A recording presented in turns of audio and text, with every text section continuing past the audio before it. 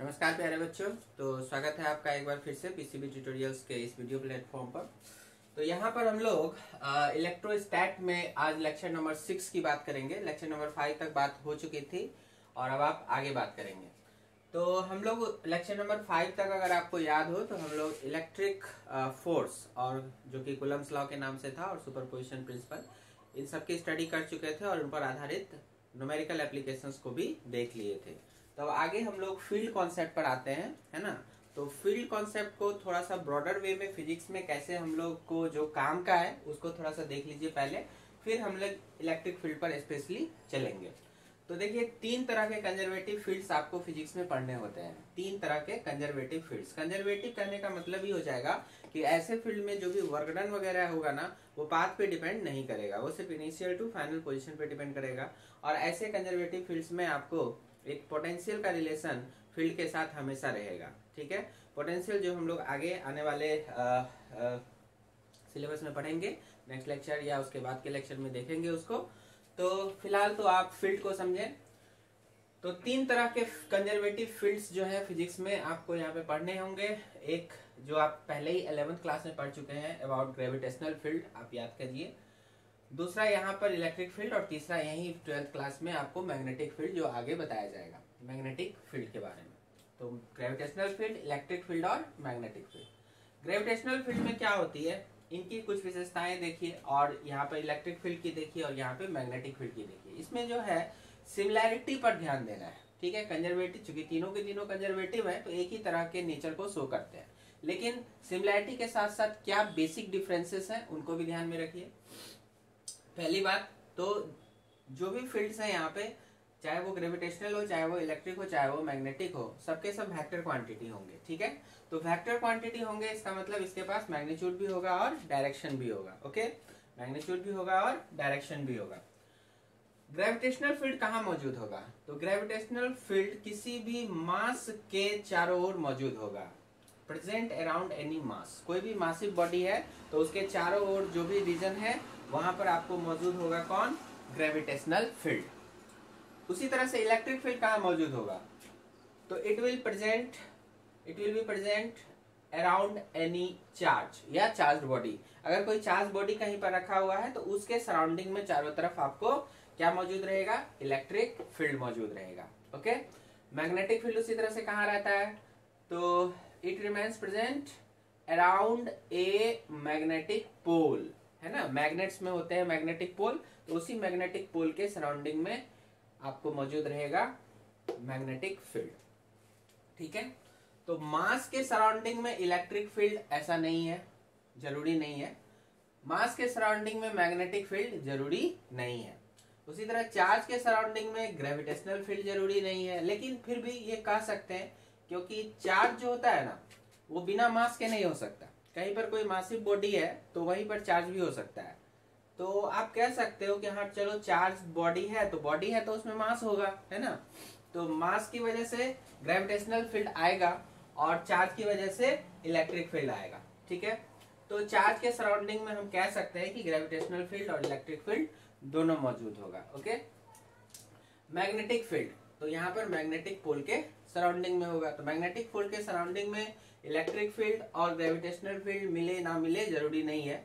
हालाँकि magnetic pole के भी अगर बेसिक्स में हम जाते हैं तो वहाँ भी मास का रिक्वायरमेंट आपको मिलता ही है। तो आप ग्रेविटेशनल फ़ील्ड भी अगर कोई बोलता है कि मैग्नेटिक पोल के सराउंडिंग में बताइए मैग्नेटिक फ़ील्ड के अलावा ग्रेविटेशनल फ़ील्ड होगा कि नहीं? हालाँकि आज तक किसी ने ऐसा कोई क्वेश्चन पूछा नहीं है, लेकिन फिर भी हम लोग माइक्रोस्कोपिक लेवल पर उसका आंसर यस कर सकते हैं। कि मैग्नेटिक पोल के सराउंडिंग में magnetic field as well as gravitational field भी मौजूद होंगे। चार्ज या चार्ज के सराउंडिंग में electric field as well as gravitational field भी मौजूद होंगे, ठीक है? लेकिन ये एकदम माइक्रोस्कोपिक लेवल पर होगा। कोई आप जनरल वे में नहीं कह सकते कि हाँ भाई, इसकी वैल्यू जैसी होगी, वैसी इसकी भी बहुत ज़्यादा वैल्यू होगी, ऐसा नहीं है, ठीक है? तो ये सब चीज़ ध्यान में रखना है। लेकिन हाँ मास के सराउंडिंग में अगर कोई न्यूट्रल बॉडी हो गया तो उसके सराउंडिंग में कभी भी ना तो इलेक्ट्रिक फ़ील्ड मौजूद मिलेगा और मैग्नेटिक फ़ील्ड जो है, उसको भी हम लोग इन जनरल देखें तो नेग्लेक्ट ही करेंगे ओके चलिए, आगे देखते हैं। Direction is always towards the mass gravitational field में अब चूँकि हम लोग जान गए कि फ़ील्ड जो है वो वेक्टर क्वांटिटी है तो वेक्टर क्वांटिटी है तो डायरेक्शन तो होगा फ़ील्ड का तो इस फ़ील्ड का डायरेक्शन किधर लेते थे? तो हमेशा मास की तरफ़ लेते थे ऑलवेज टुवर्ड्स द मास लेते थे ओके कहीं भी मासिव बॉडी है और इस पॉइंट पे निकालना है तो हमेशा इस मास की तरफ़, यहाँ से इस पॉइंट पे निकालना है तो उस पॉइंट से इस मास को मिलाने वाला जो लाइन होगा तो इसी मास की तरफ़, इसको एक तरह से रेडियली इनवर्ड भी बोलते हैं ओके तो ये अंदर की तरफ़ आता है। याद होना चाहिए आपको? जबकि यहाँ इलेक्ट्रिक फ़ील्ड में जो डायरेक्शन की बात करेंगे हम लोग, यहाँ पर आएगा अवे फ्रॉम पॉजिटिव चार्ज अगर पॉजिटिव चार्ज है तो फिर यहाँ पर अवे रेडियली आउटवर्ड चला जाएगा where is towards the negative charge और अगर ये निगेटिव चार्ज है कहीं पर, यहाँ पर निगेटिव चार्ज है और इस पॉइंट पर निकालना है तो ये टुवर्ड्स द चार्ज आ जाएगा, ठीक है? तो इस बात पर ध्यान रखिएगा कि आप पॉजिटिव चार्ज की वजह से इलेक्ट्रिक फ़ील्ड निकाल रहे हो या आप निगेटिव चार्ज की वजह से इलेक्ट्रिक फ़ील्ड निकाल रहे हो। अगर आप पॉजिटिव चार्ज की वजह से इलेक्ट्रिक फ़ील्ड निकाल रहे हो किसी भी पॉइंट पर तो हो जाएगा रेडियली आउटवर्ड ये मानते हुए कि ये एक पॉइंट चार्ज है, और उसके बाद अगर ये निगेटिव है तो हो जाएगा रेडियली इनवर्ड ठीक है? अंदर की तरफ़। तो इसमें दो तरह से डायरेक्शन आपको आएँगे, आपको एक बाहर की तरफ़ भी आएगा, एक अंदर की तरफ़ भी आएगा। पॉजिटिव है तो बाहर की तरफ़ निगेटिव है तो अंदर की तरफ़, याद रखिएगा। मैग्नेटिक फ़ील्ड में आ गया, यहाँ भी उसी तरह की बात होगी। अगर नॉर्थ पोल की बात करेंगे तो आउटवर्ड डायरेक्शन में चला जाएगा और अगर साउथ पोल की बात करेंगे तो इनवर्ड डायरेक्शन में आ जाएगा, ओके? इसलिए direction is away from north pole and towards the south pole. ये ध्यान में रखेंगे। लेकिन यहाँ पे ग्रेविटेशनल फ़ील्ड का डायरेक्शन जो आएगा that will always towards the mass आएगा। चलिए, जो फोर्स है और जो आपने पढ़ा है, अभी हाल ही में जो फोर्स पढ़ा, उसका फ़ील्ड के साथ बड़ा ही एकदम एब्सोल्यूट रिलेशन है। That force is proportional to field okay जो जैसे यहाँ बात कर रहे हैं तो gravitational field is proportional to gravitational field okay और इसी प्रोपोर्शनलिटी को अगर हटाओगे तो यहाँ पे जो कांस्टेंट आएगा, वो कांस्टेंट यहाँ पे आपका मास चलाता है, ठीक है? उसी तरह से electric force is proportional to electric field यहाँ भी जो प्रोपोर्शनलिटी का साइन हटा के इक्वलिटी लगाएँगे तो यहाँ पर भी जो कांस्टेंट आएगा, वो चार्ज चलाता है ओके उसी तरह से F M is proportional to B इसको कहते हैं मैग्नेटिक फ़ील्ड और इसलिए F M equal to M B तो यहाँ पर ये एम मास नहीं है, बल्कि पोल स्ट्रेंथ है ओके ध्यान रखिएगा, ये पोल स्ट्रेंथ है। यहाँ पर एम मास है, यहाँ पर क्यू चार्ज हो गया, यहाँ पर एम पोल स्ट्रेंथ हो गया ओके वही हमने लिख दिया है। एफ़ जी को यहाँ कहते हैं ग्रेविटेशनल फोर्स एम हो गया यहाँ पे मास ऑफ़ द बॉडी और इजी इसी को दिखाया गया ग्रेविटेशनल फ़ील्ड कहा जाएगा। इसी को ग्रेविटेशनल फ़ील्ड इंटेंसिटी भी बोलते हैं ग्रेविटेशनल फ़ील्ड स्ट्रेंथ भी बोलते हैं, ठीक है? यहाँ पर एफ़ ई क्या हो गया? इलेक्ट्रिक फोर्स क्यू क्या हो गया? Amount of charge on the body जो बॉडी है ना, जिस बॉडी पर आपको इलेक्ट्रिक फोर्स निकालना है, याद रखिएगा। जिस बॉडी पर आपको इलेक्ट्रिक फोर्स निकालना है, उस बॉडी पर कितना चार्ज है? वो वाला चार्ज है यहाँ पर ओके और ई फ़ील्ड काम करेगा वहाँ पर एक्सटर्नल फ़ील्ड किसी दूसरे चार्ज की वजह से या चार्ज बॉडी की वजह से वहाँ पे फ़ील्ड आया होगा। तो उस पर फोर्स लगने वाला वैल्यू होगा क्यू इंटू ई और ई e हो गया इलेक्ट्रिक फ़ील्ड या इसको इलेक्ट्रिक फ़ील्ड स्ट्रेंथ बोलते हैं, या इसको इलेक्ट्रिक फ़ील्ड इंटेंसिटी भी बोलते हैं। ओके सब एक ही बात है। और यहाँ पर F M magnetic force M pole strength और बी मैग्नेटिक फ़ील्ड या फ़ील्ड स्ट्रेंथ या फ़ील्ड इंटेंसिटी इस तरह से बात आएगी एक चीज़ और यहाँ पर आपको बहुत अच्छे से ध्यान में रखना होगा कि कोई भी कंजर्वेटिव फ़ील्ड में, जैसे हमने बात की फ़ील्ड और फोर्स का आपस का रिलेशन है, उसी तरह से फ़ील्ड और पोटेंशियल भी एग्जिस्ट करेंगे तो फ़ील्ड और पोटेंशियल के भी यहाँ पे आपको रिलेशन याद रखने हैं। यहाँ पे जो आपको आएगा फ़ील्ड की value minus of gravitational potential इस तरह से। Minus of D V by D X कह लो या डी आर ही कह लो। अगर एक्स करेंगे तो एक्स की तरफ़ आएगा, अभी आर कह लो इन जनरल ठीक है, इसको क्या बोलते हैं? Negative gravitational potential gradient potential gradient एक तरह से नाम होता है। जब आप डिस्टेंस के रिस्पेक्ट में डिफ्रेंशिएट करते हैं तो उसको ग्रेडियंट नाम दिया जाता है।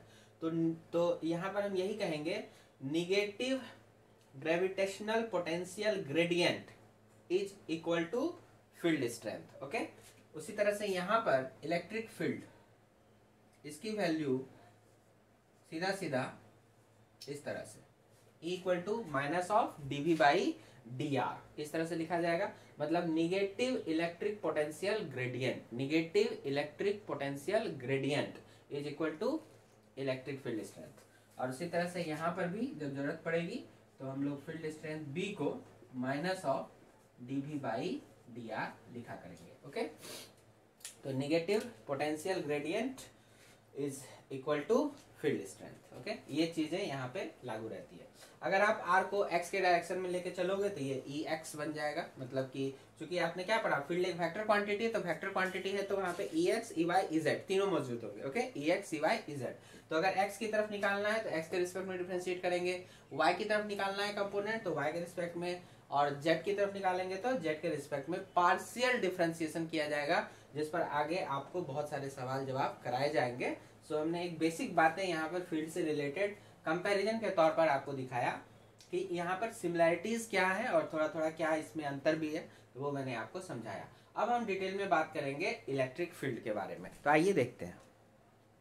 तो आइए समझते हैं। Details about electric field the region या स्पेस सराउंडिंग एनी चार्ज या charge body in which any other charged body experiences the electric force on itself is known as electric field. मतलब क्या कहने का हुआ? कि अगर कोई चार्ज बॉडी है हमारे पास, जैसे मान के चलिए हमने यहाँ पर एक चार्ज बॉडी बनाया जो प्लस नेचर का है, ठीक है? आप देख सकते हैं प्लस नेचर का है। तो इसके सराउंडिंग में कहीं भी स्पेस में कहीं भी, किसी भी दूसरे जगह, अगर एक दूसरा चार्ज को लाया जाए, दूसरा चार्ज को यहाँ पर हम लोग रखते हैं, ठीक है? मान लो ये स्मॉल क्यू अमाउंट का प्लस चार्ज रखा हमने अब ये कैपिटल क्यू का प्लस चार्ज पहले से यहाँ पर है, ठीक है? तो क्या होगा, इसके सराउंडिंग में अगर आपने कहीं भी इस चार्ज को यहाँ पे रखा है तो ये एक इलेक्ट्रिक फोर्स का एक्सपीरियंस करेगा। तो अगर ये इलेक्ट्रिक फोर्स को एक्सपीरियंस कर रहा है तो हम कहेंगे कि आपने इस वाले चार्ज को इसके इलेक्ट्रिक फ़ील्ड रीजन में रख दिया है। ये सारा रीजन में आपको मौजूद होगा, इसकी वजह से एक इलेक्ट्रिक फ़ील्ड ठीक है? थ्योरिटिकली ये इलेक्ट्रिक फ़ील्ड यहाँ से लेकर के इन्फिनिटी तक हर डायरेक्शन में जाएगा। जैसे हम लोग एक छोटा सा एलईडी बल्ब अगर यहाँ जला लें तो इसकी रोशनी थियोरेटिकली यहाँ से काफ़ी दूर दूर इन्फाइनाइट डिस्टेंस तक जाएगी। तो उसी तरह से अगर कहीं पर भी कोई चार्ज प्रोड्यूस हो रहा है या चार्ज है वहाँ पर तो उसका जो इलेक्ट्रिक फ़ील्ड आएगा वो थियोरिटिकली इन्फाइनाइट डिस्टेंस तक मौजूद रहेगा। अब हम कहीं भी दूसरा चार्ज पार्टिकल ला करके वहाँ पर रखेंगे तो क्या होगा? इनके बीच में इंट्रेक्शन होगा। तो हम कहेंगे, भैया, आपने क्या किया? इसके सराउंडिंग में एक फ़ील्ड यहाँ पर मौजूद रखा हुआ है। तो द उसी का द रीजन या स्पेस है ना? ऐसे रीजन या ऐसे स्पेस जो कि सराउंडिंग है एनी चार्ज या चार्ज बॉडी के सराउंडिंग में मौजूद है जहाँ पर कोई दूसरा चार्ज पार्टिकल रखने से वो एक्सपीरियंस करना शुरू करता है। किसको? तो इलेक्ट्रिक फोर्स को, है ना? इलेक्ट्रिक फोर्स ऑन इट ये अपने ऊपर एक इलेक्ट्रिक फोर्स महसूस करता है। तो वही कहलाएगा इलेक्ट्रिक फ़ील्ड ठीक है? तो अब यहाँ पर जैसे ये पॉजिटिव चार्ज है तो इसके सराउंडिंग में हमने कहीं भी रख दिया तो ये क्या करेगा यहाँ पर? एक इलेक्ट्रोस्टैटिक फोर्स ऑफ़ चूँकि दोनों सेम नेचर का है तो एक रिपल्सन तो वो रिपल्सन का डायरेक्शन क्या होगा? वो रिपल्सन का डायरेक्शन इधर होगा, है ना? तो ये वाला, ऐसे।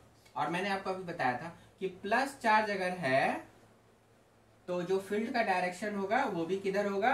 अवे हो जाएगा। अगर ये माइनस होता तो यहाँ पे फ़ील्ड किधर होता? इन अंदर की तरफ़ आ जाता। ठीक है? याद रखिएगा। तो ये प्लस चार्ज है तो यहाँ पे अवे फ़ील्ड का डायरेक्शन भी इधर ही होगा। तो इसने फोर्स जो एक्सपीरियंस किया एफ़ और वो, उसकी वैल्यू क्या हो जाएगी? ये वाली क्यू और यहाँ पर फ़ील्ड का स्ट्रेंथ अगर E हो गया है तो हम लिखेंगे क्यू इंटू ई ओके ये अगर मान के चलिए कि ये P पॉइंट पर आपने रखा हुआ है तो फ़ील्ड एट P और यहाँ भी हम P लगा सकते हैं। ठीक है? बहुत ही सिंपल है नो प्रॉब्लम अब इस ईपी e को कैसे लाएँगे? तो इसके लिए बड़ा ये सिंपल सा काम करना है। आपको क्या करना है? एफ़ ई एफ़ ई को लिखना है। देखिए तो इसमें एफ़ ई बराबर क्या है? We know that F E जो हो गया ना, वो क्या हो गया? क्यू इंटू ई पी हो गया। और एफ़ को लिखना है वन बाई फोर पाई अगर ये एयर की बात है तो one by four pi epsilon naught और उसके बाद capital Q small Q divided by ये डिस्टेंस को हमने आर मान लिया सो ये आर का स्क्वायर और ये हो गया क्यू इंटू ईपी ठीक है? तो यहाँ से क्या देखते हैं स्मॉल क्यू कैंसिल हो गया। तो ये जो ईपी e है ना, ये कितना आ जाएगा? One by four by epsilon naught Q upon R square ये देखिए, इस तरह से, ठीक है? यही इलेक्ट्रिक फ़ील्ड का फॉर्मूला भी आ गया, ठीक है? कोई भी पॉइंट चार्ज अगर कहीं रखा हुआ है तो उससे आर डिस्टेंस पर इलेक्ट्रिक फ़ील्ड की जो वैल्यू आएगी इलेक्ट्रिक फ़ील्ड के स्ट्रेंथ की वैल्यू उसको हम लोग कैसे लिखेंगे? तो one by four by epsilon naught Q upon R square ठीक है? और इसको हम लोग डिफाइन भी कैसे कर सकते हैं? तो यहाँ पर सीधा सीधा देखो, आप ये चीज़ देखो। अगर यहाँ पर small Q tends to one unit हो जाए, ठीक है? वन यूनिट अगर ऐसा सिस्टम में बात करेंगे तो ऑफकोर्स वन कुलम तो अगर ये वन यूनिट हो गया, तब फिर क्या होगा? F E is equal to E P तो यहाँ से फ़ील्ड स्ट्रेंथ का डेफिनेशन भी बन जाता है। फ़ील्ड स्ट्रेंथ का डेफिनेशन क्या बनेगा? कि कि अगर यूनिट पॉजिटिव चार्ज को किसी जगह पे रखा जाए, जहाँ जिस जगह पे आपको फ़ील्ड स्ट्रेंथ निकालना है मतलब उस फ़ील्ड स्ट्रेंथ की वैल्यू क्या है ओके कौन सी वैल्यू का? आप जानते हैं ना कि जैसे जैसे दूर जाएँगे, उस फ़ील्ड की स्ट्रेंथ कम होती जाएगी। जैसे जैसे पास आएँगे फ़ील्ड की स्ट्रेंथ बढ़ती जाएगी। तो अगर आप आर डिस्टेंस पर हो तो फ़ील्ड की कुछ ना कुछ पर्टिकुलर स्ट्रेंथ तो होगी। तो उस स्ट्रेंथ को निकालने के लिए आपको क्या डेफिनेशन देना है? तो देना है कि जिस जगह पे हमको फ़ील्ड निकालना है, उस जगह पर हम यूनिट पॉजिटिव चार्ज को अगर रखें यूनिट चार्ज को रखें, जिसको हम लोग टेस्ट चार्ज भी बोलते हैं तो यूनिट पॉजिटिव चार्ज को रखने से वो चार्ज जितना फोर्स एक्सपीरियंस करेगा। देखिए, अगर स्मॉल क्यू वन यूनिट हमने कह दिया तो अपने आप एफ़ कन्वर्ट हो जाएगा ईपी में, है ना? क्यू तो वन बन गया तो एफ़ कन्वर्ट हो जाएगा ईपी में। तो जी, जो भी फोर्स की वैल्यू होगी on that unit charge at that particular point वही क्या हो जाएगा? Field strength okay field strength तो इसी बात को लिख देते हैं फटाफट। हाँ। तो ध्यान दीजिएगा बच्चों, यहाँ पर हमने जैसे इसी को इलेक्ट्रिक फ़ील्ड स्ट्रेंथ या इंटेंसिटी ऐसे बोल सकते हैं इलेक्ट्रिक फ़ील्ड इंटेंसिटी या इलेक्ट्रिक फ़ील्ड स्ट्रेंथ ओके तो क्या है ये? The electric force experienced by unit positive charge placed at any point in the electric field जैसे इस चार्ज के सराउंडिंग में सब जगह इलेक्ट्रिक फ़ील्ड तो आ गया। अब हमको इस पी पॉइंट पर इलेक्ट्रिक फ़ील्ड की वैल्यू निकालनी है तो हम क्या बोलेंगे कि यहाँ पर अगर यूनिट पॉजिटिव चार्ज को रखा जाता तो वो जितना फोर्स इलेक्ट्रिक फोर्स को एक्सपीरियंस करता, वही वैल्यू हो जाती उस पॉइंट पर का इलेक्ट्रिक फ़ील्ड तो वही लिखा हुआ है। Electric force experience by unit positive charge placed at any point in the electric field present. Electric field present is known as electric field या strength या intensity at that point, okay? अब इस P point पर हमने अगर mathematically देखना चाहे कि फ़ील्ड की वैल्यू क्या होगी, तभी निकाला था one by four by epsilon naught capital Q, ये जो इसकी वैल्यू है divide by R square okay इस P पॉइंट पर। तो प्लस है तो ये क्या होगा? ये दोनों लाइन को मिला देना है और एकदम अवे ठीक है? अवे और अगर माइनस है तो इस पॉइंट पर क्या होगा? इस तरफ़ ठीक है ना? Towards towards the charge negative है तो अपनी तरफ़ आएगा पॉजिटिव है तो अपने से दूर जाएगा। अब एक चीज़ यहाँ पे ध्यान रखना आप लोग। इस पॉइंट पर चार्ज रहे या ना रहे फ़ील्ड की वैल्यू हमेशा इतनी आनी ओके अगर मैं यहाँ पर एक कोई भी आ, प्लस स्मॉल क्यू रख देता हूँ तो भी फ़ील्ड की वैल्यू इतनी रहेगी। और अगर मैं और डायरेक्शन भी और अगर माइनस क्यू भी रख देता हूँ तो भी फ़ील्ड की वैल्यू यही रहेगी और डायरेक्शन भी यही रहेगी। याद रहे, या ये जो आपने फ़ील्ड की वैल्यू देखी ना, इस फ़ील्ड की वैल्यू को कोई मतलब नहीं है कि इस पॉइंट पर कोई चार्ज मौजूद है या मौजूद नहीं है। इस बात को अच्छी तरह से समझ लीजिए। ना तो इसके इलेक्ट्रिक फ़ील्ड के डायरेक्शन को कोई मतलब है इस बात से कि यहाँ पे चार्ज मौजूद है या नहीं है, और ना ही उसके मैग्नीट्यूड को कोई मतलब है कि यहाँ पर कोई चार्ज है कि नहीं है। समझे इस बात को? इस पॉइंट पर कोई चार्ज रहे या ना रहे इलेक्ट्रिक फ़ील्ड की वैल्यू और उसकी डायरेक्शन यही होनी है ऑलवेज अगर आपने यहाँ पे चार्ज रखा हुआ है तो भी यही रहेगा, चाहे वो चार्ज प्लस हो, चाहे वो चार्ज माइनस हो. कोई फ़र्क नहीं पड़ता, ना तो मैग्नीट्यूड में, ना तो डायरेक्शन में. याद रखिएगा. अक्सर यहाँ पे मैंने देखा है कि बच्चे लोग को जब बोलेंगे बताओ यहाँ पे मैंने प्लस क्यू रख दिया फ़ील्ड की वैल्यू बताइए तो फ़ील्ड की वैल्यू तो वो बता देंगे इतना.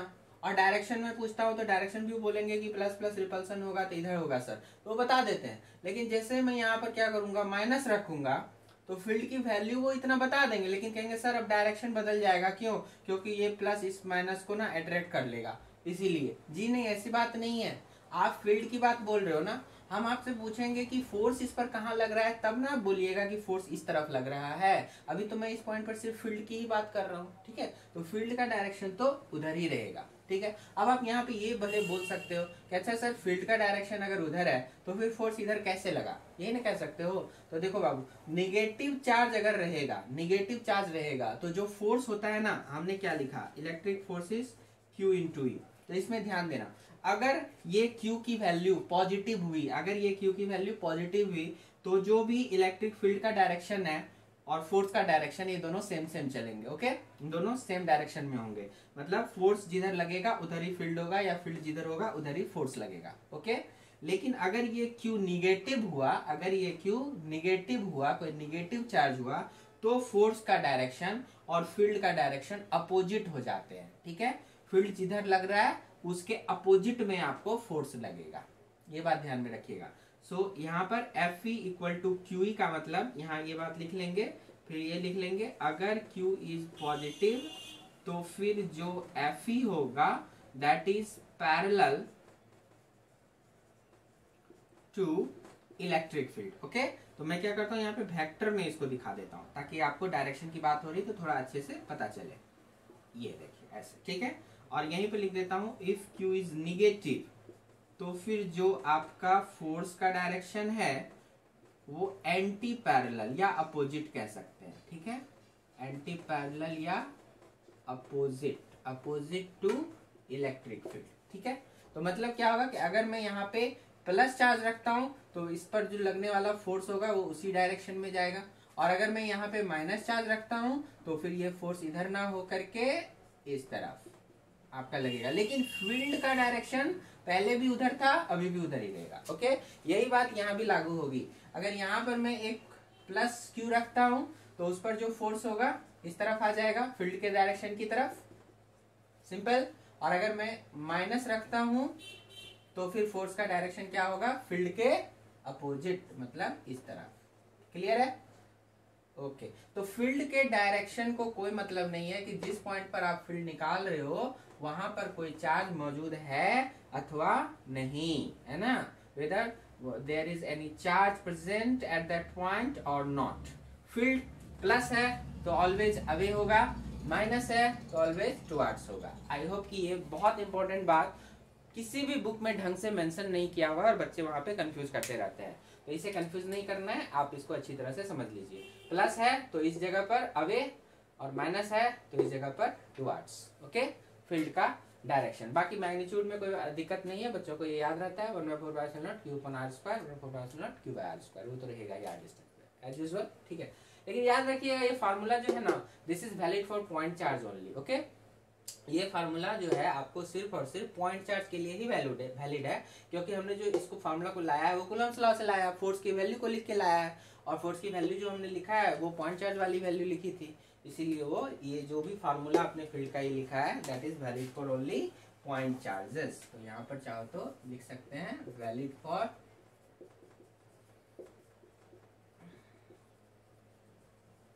point charges only ठीक है? चलिए तो ये बातें हो गई। अब इसमें छोटा सा एक एग्ज़ाम्पल देखिए आप। चलिए तो छोटी सी बात देखिए यहाँ पे। जैसे हमने कहा कि एक प्लस क्यू चार्ज यहाँ पर है, एक माइनस क्यू चार्ज यहाँ पर है। इनके बीच की दूरी हो गई टू आर ठीक है? और बीच में कहीं पर एक पॉइंट हमने ले लिया पी पॉइंट एकदम बीच में सेंटर पर पी ले लिया। तो अब क्या हम पूछ रहे हैं वहाँ पे कि ईपी e हमको बताया जाए कि ईपी नेट वहाँ पे क्या आएगा? तो इसकी वजह से भी आएगा और इसकी वजह से भी आएगा। ठीक है? तो आइए डायरेक्शन को पहले समझे कि इस प्लस की वजह से यहाँ पर कैसे, किधर आएगा? तो इस प्लस की वजह से मैंने बताया आपको कि यहाँ पर अवे आएगा। ठीक है? अवे हो गया। इस प्लस से यहाँ से दूर। और इस माइनस की वजह बताया अपनी तरफ़ आएगा ओके तो उसी तरफ़ चला जाएगा। टू आर्ट्स तो यहाँ पर क्या हो गया? दोनों उधर ही चला गया। तो हम यहाँ पे लिख सकते हैं टू ई e और इस क्यू की वजह से तो क्यू लिख देता हूँ, ठीक है? जहाँ ई क्यू क्या है? तो one by four pi epsilon naught और क्यू बाई डिस्टेंस आर दोनों तरफ़ से ही था तो आर का स्क्वायर ठीक है? और ये किस तरफ़ जा रहा है? तो आप समझ सकते हैं कि ये इस तरफ़ जा रहा है। तो अगर मैं इसको इधर एक्स डायरेक्शन कह दूँ तो आई कैप लगा के आप लिख सकते हो, है ना? तो वेक्टर में आ जाएगा ये। तो ऐसे लिखा जा सकता है। क्लियर है बहुत सिंपल प्लस है तो इस पॉइंट पर अवे और माइनस है तो ये माइनस की तरफ़, ठीक है? ऐसा चलिए, इसी में हम दूसरा एग्जांपल देखते हैं। इसको मैंने कर दिया माइनस और इसको मैंने कर दिया प्लस ठीक है? अब देखो तो फ़ील्ड का डायरेक्शन ढूंढना है, बीच में रखते हैं कहीं पर, और ढूंढो। तो किधर हो जाएगा? इस माइनस की वजह से यहाँ पे टू आर्ट्स इसकी तरफ़, हो गया? और इस प्लस की वजह से इस जगह पर तो यहाँ से अवे दूर जाना है तो इधर ही आ जाएँगे ना, हो गया ना? तो यहाँ भी इस तरफ़ आ जाएगा तो वैल्यू तो वही रहेगी, जहाँ e की वैल्यू में बस यहाँ पे माइनस आ जाएगा। सही बात है? समझ रहे हैं आप? इस तरफ़ आएँगे तो यूनिट वेक्टर होगा ना, इधर का माइनस आई और इधर का कौन था? प्लस आई ऐसे। सही बात? चलिए, अब अगर दोनों तरफ़ प्लस रख दू, तब क्या होगा? फिर से समझेंगे? दोनों तरफ़ प्लस है। तो इस प्लस की वजह से अवे और इस प्लस की वजह से भी अवे देखिए, इस प्लस की वजह से अवे इधर हो गया, इस प्लस की वजह से अवे उधर हो गया। दोनों बराबर में मैग्नीट्यूड में है कैंसिल आउट हो जाएगा? तो क्या हो जाएगा इसका आंसर ज़ीरो हो जाएगा। तो यहाँ पर ईपी की वैल्यू क्या हो जाएगी? ज़ीरो हो जाएगी। ये वैल्यू नहीं होगी, है ना? इसको हटा देना। ईपी सीधा सीधा क्या हो जाएगा? ज़ीरो हो जाएगा। जितना ये इधर से लगाया, उतना उधर से लगाया। कैंसिल हो गया। दोनों फ़ील्ड कैंसिल हो गए। ओके वेक्टर समझ आता है। ओके फोर्स की तरह। अब अगर मैं इधर को कर दूँ माइनस इधर भी हो गया माइनस तब क्या होगा? तो देखो, इस माइनस की वजह से यहाँ पर इसकी तरफ़ आएगा। और इस माइनस की वजह से यहाँ पर उसकी तरफ़ चला जाएगा। सही है ना? फिर से कैंसिल हो जाएगा, फिर से ईपी आपका ज़ीरो बन जाएगा, ठीक तो इस तरह से बहुत सारे एग्ज़ाम्पल आपको लिखे जा सकते हैं। कोई भी जैसे इस तरह से एक इक्विलेटरल ट्रायंगल दे दिया, यहाँ पर प्लस क्यूब यहाँ माइनस क्यूब और यहाँ पर भी मान के चलिए एक प्लस क्यू दे दिया। और अब हम आपसे यहाँ पर नेट फ़ील्ड की बात पूछ रहे हैं, ठीक है? तो मैंने आपको बताया कि इस जगह पर आप पूछ रहे हो तो यहाँ पर चार्ज रहे ना रहे, उससे कोई फ़र्क नहीं पड़ेगा। तो चाहे आप यहाँ पे प्लस क्यू रखो, चाहे आप यहाँ पे माइनस क्यू रखो डजेंट मैटर आप चाहो तो इसको मिटा भी सकते हो, यहाँ पे रखने से कोई फ़र्क नहीं पड़ता फ़ील्ड को ओके तो इस माइनस की वजह से किधर होगा? तो इस जगह पर इधर होगा, ठीक है? तो यहाँ पर देखने में लगता होगा अच्छा माइनस प्लस है अट्रैक्ट हो गया। नहीं अट्रैक्शन की बात यहाँ दिमाग में लानी ही नहीं है, आपको नहीं तो कंफ्यूज हो जाओगे, ठीक है? यहाँ पर ये रहे ना रहे कोई फ़र्क नहीं पड़ता क्योंकि अगर यहाँ पे माइनस क्यू भी होता ना तो भी हम फ़ील्ड की बात कर रहे हैं तो वो फ़ील्ड का डायरेक्शन इधर ही होता। अब आप कहोगे माइनस माइनस है तो रिपल्सन सोचोगे अगर तो, तो उधर होना चाहिए था ना लेकिन होगा नहीं।